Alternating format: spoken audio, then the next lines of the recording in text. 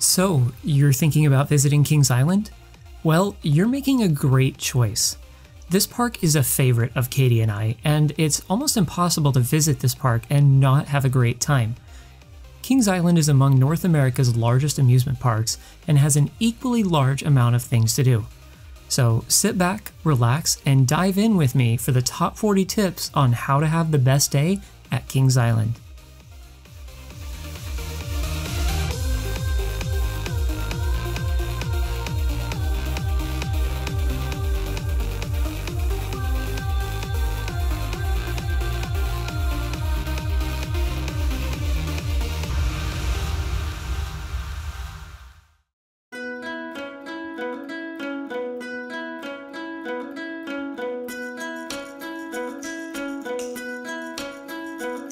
This video is organized in a way that splits all of the tips into three different sections. What to do before you get to the park, what to do on your way to the park, and finally, what you should do when you're at the park. After watching this video, you'll be more than prepared to have an amazing day at this beautiful amusement park. If you also enjoy doing amusement park content creation like us, be sure to stick around to the end as we have some tips for some of the best photo spots in the park. As with any amusement park, I'm going to highly recommend that you start out by looking at their website. There is a lot of great information here, and this can help you prepare even more for your visit to the park. If you enjoy this video and want to see our rankings of all the coasters and a review of the park, check the description below for the link to our playlist of videos all about Kings Island. Tip number 1. Visit during the week in May or June. Kings Island is an incredibly popular park, seeing an annual attendance of roughly 3 million visitors each year. If beating the crowds is the most important thing for you, then attending the park in either May or June on a weekday is a good idea. By doing this, you are ensuring that you can maximize your time at the park. If you visit any later than this, you are sure to hit crowds. However, this can be fine since Kings Island has some of the fastest operations out of any park in the Cedar Fair chain. Tip number 2 Check out the special events. Throughout the year, Kings Island will put on different events that are a must see for anyone who wants to visit this park. If you want to go to the park and ride as many rides as possible, then I highly recommend visiting while Carnival event is scheduled. This event sees a large parade that takes a winding path through the park. Cedar Fair has done a great job at making this event spectacular, and I love the extra decorations that go up around the park. One of the more unforgettable events we saw was the 50th anniversary. While it may be a while till the park does anything similar to this, it was simply spectacular, and if anyone gets the opportunity to visit during a similar event in the future at Kings Island, you won't want to miss it. During the fall, Kings Island transforms for its Halloween Haunt event, here, you'll find some great mazes filled with some of the best scare actors out there. Also, who wouldn't want to miss out on the amazing night ride opportunities here? Finally, there's Winterfest. The entire fountain on International Street is converted into an ice skating rink, and nearly the entire park is adorned with wonderful Christmas decorations. Surely there's something here for everyone. Tip number 3 Find the right place to stay. If money is less of an issue, you really might want to consider staying at the Great Wolf Lodge. This resort is right next to the park and is almost in walking distance to the front entrance. If you get lucky, you may even be able to get a room that gives you a view of the park itself. If money is more of an issue for you, there is always the Comfort Suites and Marriott just down Kings Island Drive. Both of these hotels provide a continental breakfast and are modestly priced and are likewise located on Kings Island Drive itself. Tip number 4 Spend at least one or two days here. While it can get very crowded here because of how fast the operations are, you are more than likely going to be able to do everything you'd want to in about a day. Even then, with how large Kings Island is, I recommend spending at least a day and a half, if not two full days at the park. There is plenty to do here, and you won't want to miss out on a chance to get re-rides on some of your favorite rides here. When Katie and I visited, we spent three and a half days here so that we could capture as much content as possible so we could bring it to you guys. Ultimately, though, within the first half day and full day, we had already gotten the chance to ride everything we wanted to. Tip number 5 pre-purchase park entry. This tip will not only save you time, but also money. Kings Island sells their park entry tickets online for a lower price than at the gate. This will also save you time as you don't have to wait in a potentially lengthy line at the ticket booth. I would also recommend to use the website if you're interested in one of the season passes. This will save you a significant amount of time, meaning that the only thing you'll need to do is stop by the guest services booth to have your photo taken for your physical season pass. Tip number 6 Consider the season passes. Continuing off of the last tip, getting a season pass for Kings Island is a great choice, especially if you plan on visiting more than once. This is also a great idea if you're a coaster maniac like myself and want to visit other parks in the Cedar Fair chain. Entry to all Cedar Fair parks starts at the gold tier of passes and is a very cost effective way to be able to visit the 11 different Cedar Fair properties around the country. For comparison's sake, a one day ticket to Disneyland can be as much as $500, and right now, for $145, you can get unlimited visits to multiple parks along with discounts on food and souvenirs. Talk about value. If you're seriously crazy about coasters, you might want to consider the Prestige Pass, as this gets you up to 2 hour early entry to Kings Island, as well as a ton more perks. This one starts at around $350. A one day ticket to Kings Island costs roughly $45 online, so a season pass will pay for itself if you plan on spending more than 3 days at a park in the Cedar Fair chain.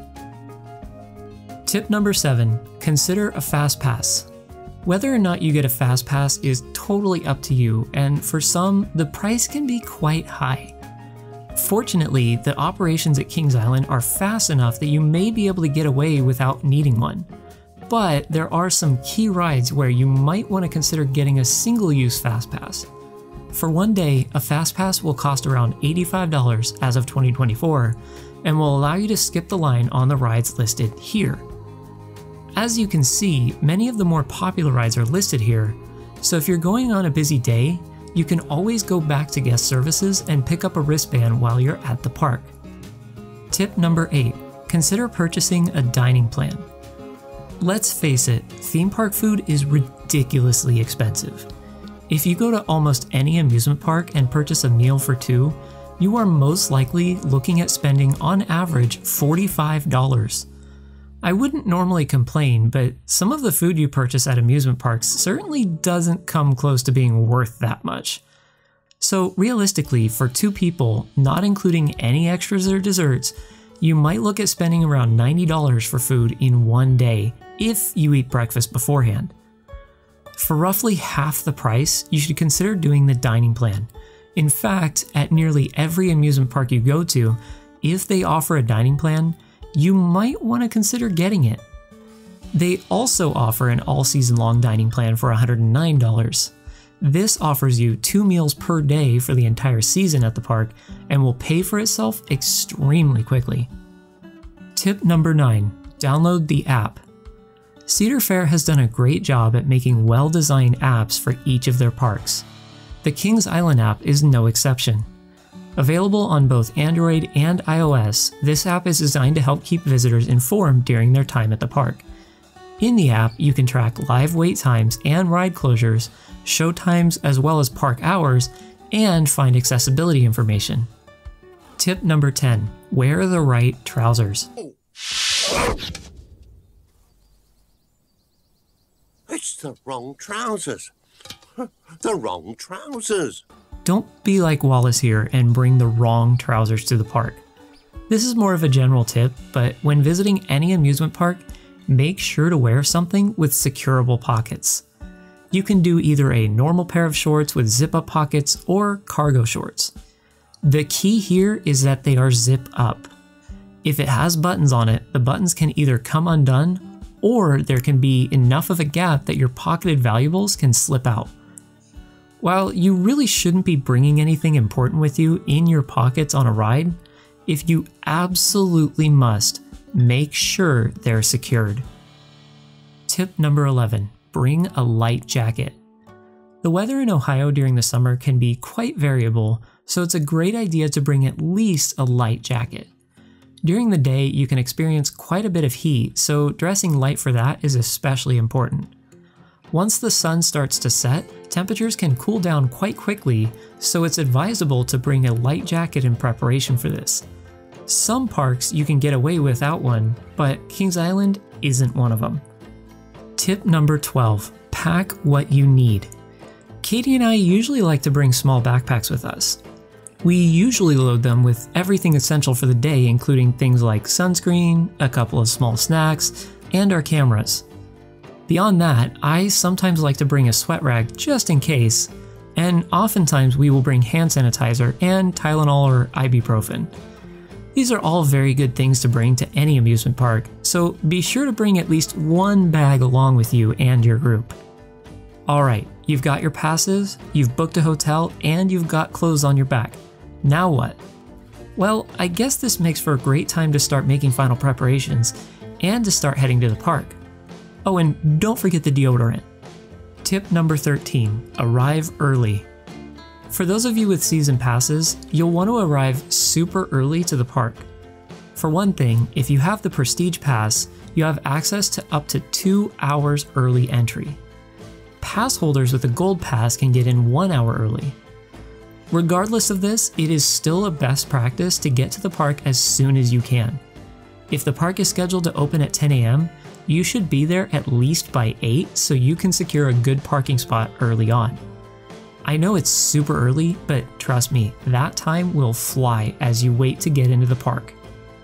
Tip number 14 Enter from the north side.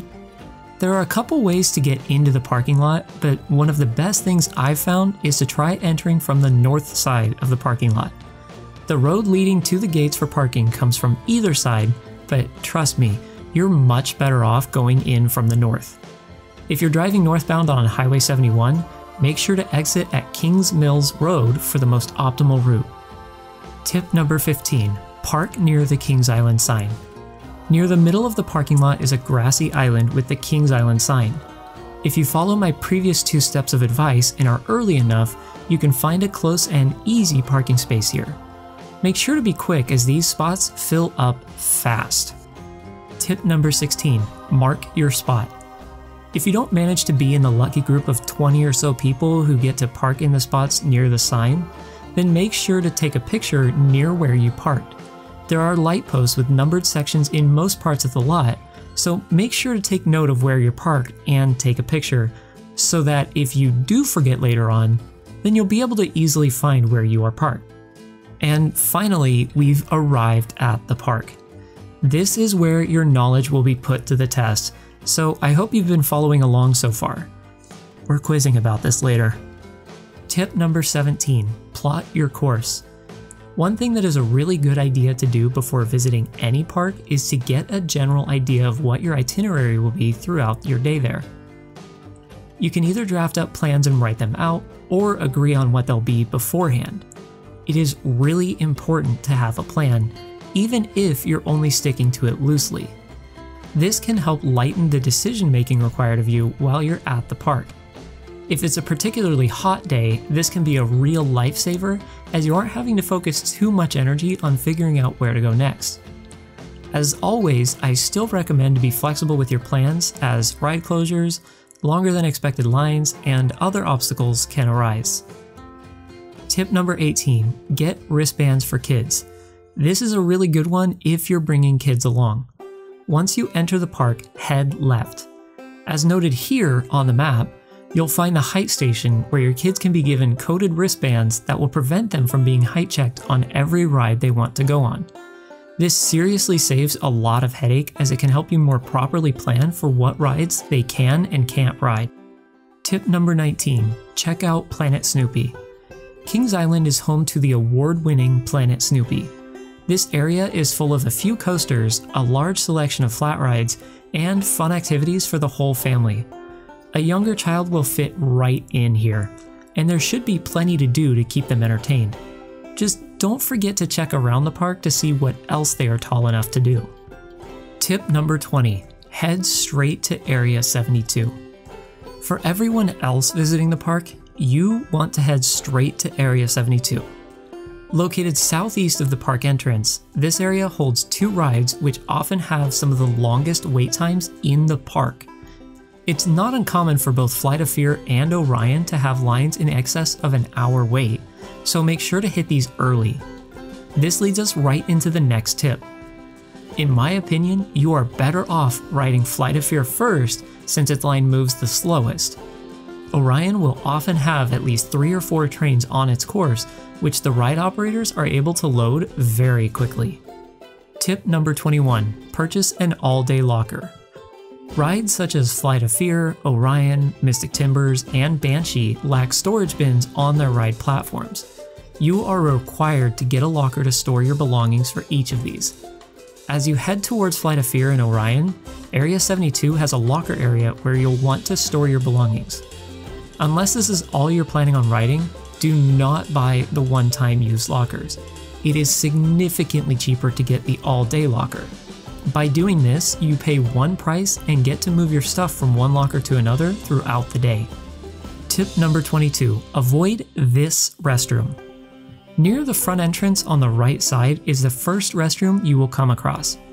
I'm sure you may have to go really badly, but do yourself a favor and avoid this one. At least in the men's room, there is only one actual toilet, and these facilities are the least clean ones in the entire park. You can find the next restroom either at Festhaus or near Diamondback. Tip number 23 Check the app for wait times.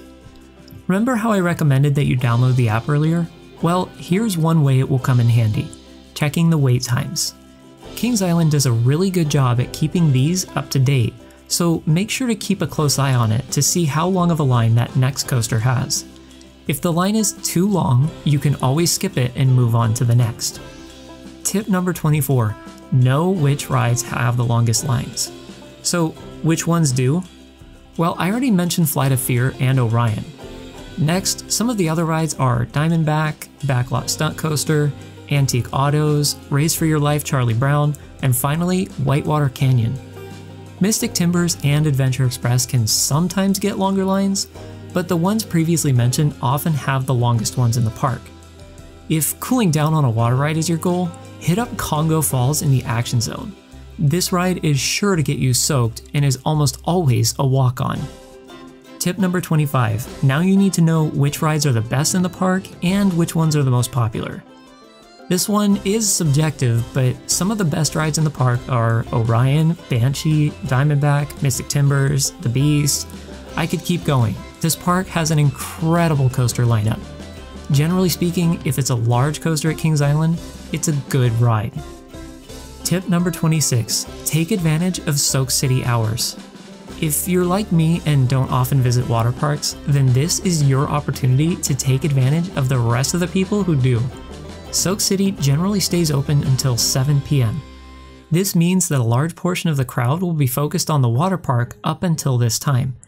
It is really important to try to get on the rides with some of the potential for the longest lines before 7 p.m. Once Soak City closes for the day, the lines at most of the rides get much longer, and you'll find yourself caught in a crowd that will feel like it came out of nowhere. Tip number 27 Ride everything multiple times. By planning out your route and riding everything as quickly as possible, you'll be spared plenty of time to be able to get re-rides on most of your favorite rides. The last time Katie and I went to the park, we were able to conquer just about everything within three quarters of the day. This allowed us a chance to re-ride multiple rides and still catch some of the events. Tip number 28 Check out the live shows. Dotted all around the park are different live performances that you won't want to miss. There's the Kings Island Theater near International Street that has great air conditioning and puts on a plethora of wonderful shows. You can find performances inside a Festhaus, and finally, there's Rivertown, which often has live music being played right underneath Diamondback. If you want to make your visit to this park special and try out everything, then seeing these live events is definitely worth it. Tip number 29 Ride the train for a nice break. Once you've gotten to the middle of your day at the park, you may be thinking, it'd be a great time to take a break. If this is the case, then why not check out the train? The entrances for this are located in Rivertown and in Soak City, and can provide either a great leisurely activity or serve as a quicker way to get from the amusement park to the water park. For the photography minded viewers out there, this train ride can also provide some great views of Diamondback and Mystic Timbers that you won't be able to get anywhere else, so be sure to check it out. Tip number 30 Know where the best places to eat are. There are several restaurants dotted throughout the park, and obviously everyone has their preferences on what they like, but there are a few key restaurants I'd recommend checking out while you're here. For a great lunch option, you have Enrique's. This is just a knockoff Chipotle with a lot of the same ingredients. Make sure to eat light here so you don't get an upset stomach. Next, we have the Coney Barbecue, and on the nearly opposite side of the park, the Miami River Brewhouse. Coney Barbecue is a great option for slightly larger meals that can actually end up being decently healthy. It's a similar tale over at Miami River Brewhouse. This restaurant serves salads and burgers and just about everything else you'd expect at an amusement park. The good air conditioning and slightly quieter environment here make for a great way to escape from all the noise for a little while. Tip number 31 Try the local staple, the Cincinnati chili. If you're in Cincinnati, it's almost a sin to not try out the local staple food chili. Found at Skyline Chili in the Coney Mall, this restaurant serves the iconic Cincinnati delicacy. This chili is locally famous and locally loved, so be sure to stop by and try some. You can't miss it. Tip number 32 Don't skimp out on the blue ice cream. Some people call it blue ice cream, some call it a smurf cone. Whatever you call it, this Kings Island ice cream flavor has grown to be so popular that it was even adopted into Cincinnati culture. You can find this delectable treat in the ice cream zone located in the Action Zone section of the park. Tip number 33 Know where the best gift shops are located. Fortunately, Kings Island has a ton of gift shops dotted all around the park, so if there's something specific you've got your eyes on, you most likely won't have to worry too much about it being in short supply. Some of the best gift shops located in the park are the Diamondback Trading Post Kings Island Collections, and the Emporium, both on International Street, and finally, the little shop located on the walkway to Area 72. All of these gift shops have all the nano coasters and park apparel you could ever wish for, and more. Tip number 34 Take shortcuts. Did you know that Festhaus not only makes for a great restaurant, but an even better shortcut? You see, the walkway from International Street to the Action Zone and Adventure Port is somewhat narrow and can get overloaded quickly. If you find yourself getting stuck in crowds near these areas, why not consider cutting through Festhaus? This building has doors located on its northern and southern facades, which make for a great and lesser known way to cut past crowds. Tip number 35 Let's discuss where some of the best seats are for each ride. Now, as a certified coaster maniac, you need to ride each ride on the best seats. Fortunately, this is a fairly easy thing to figure out at Kings Island. Both Racer and the Beast feature the same trains that have three rows of two across seating in each car. The front row on each ride is great, but it is also a good idea to consider riding in row 2 for these. Row 2 is the only row on each car that isn't a wheel seat meaning that you'll be feeling less of the imperfections right underneath you. The Beast is slightly exempt from this, as there really is no other row than the front. There is nothing quite like a front row ride at night on the Beast. For rides like Banshee, Orion, Diamondback, Mystic Timbers, make sure to ride in the front two or the back two rows. On Diamondback in particular, the most important thing to keep in mind is that you want a wing seat. These seats are located on the outer edge and provide for the best overall experience. Plus, if you're in the back row and in a wing seat, you'll get a little wet from the final splashdown. Orion is especially a good ride to experience in the back row, as the last few airtime hills really launch you out of your seat here. Finally, there's the Bat. This ride is a certified front row ride. Tip number 36 check out the best night rides. Look, there's no question about it. Kings Island is home to the best night rides out there. You can't really beat the Beast in this category. However, all of the other rides like Banshee, Bat, Mystic Timbers, Orion, and Diamondback all provide incredibly strong night rides as well.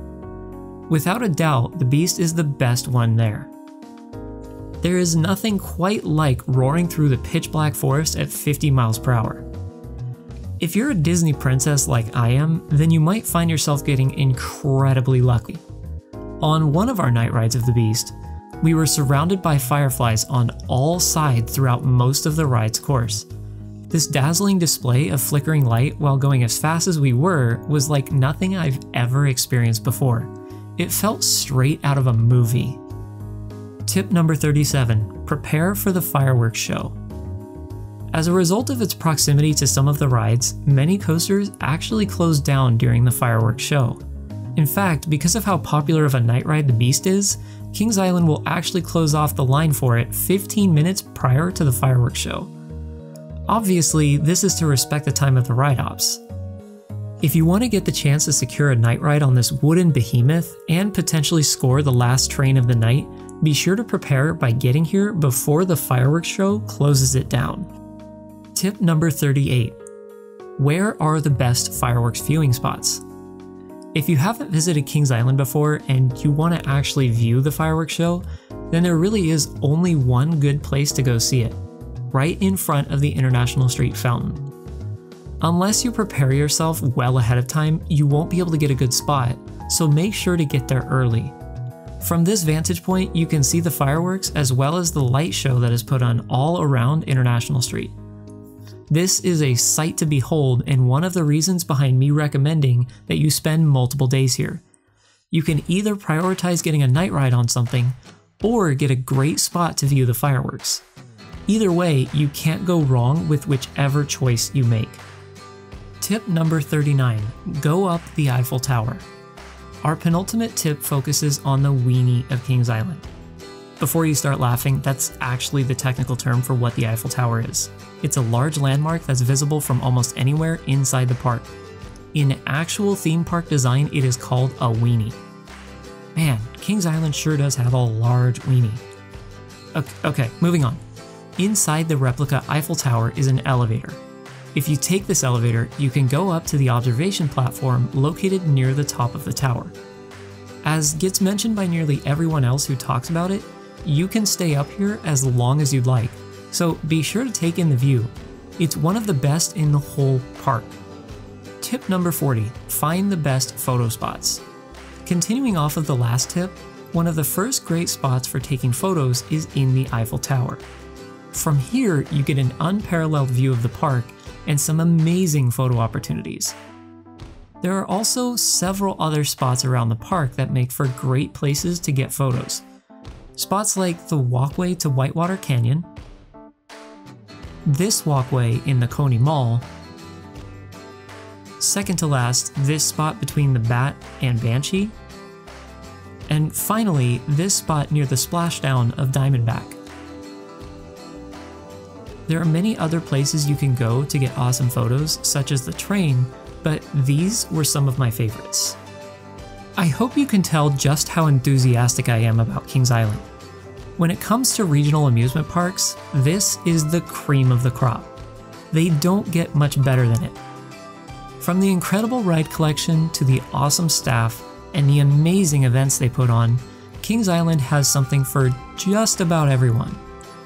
As a coaster enthusiast, or heck, even a general thrill seeker, this Ohio based amusement park is one that you can't pass up.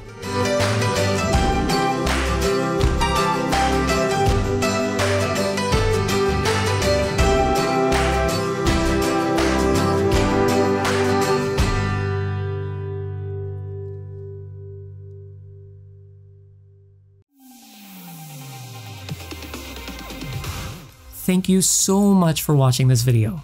Don't forget to leave a like and comment below and hit that bell icon. Special thanks to our Patreon supporters Nathan Martin and Future Collective. $1 a month helps me bring even more content to you guys, and I even have some exclusive content coming, so check it out. Check the description below to find links to the rest of our pages. Thanks for watching the video and ride on, Coaster Maniacs.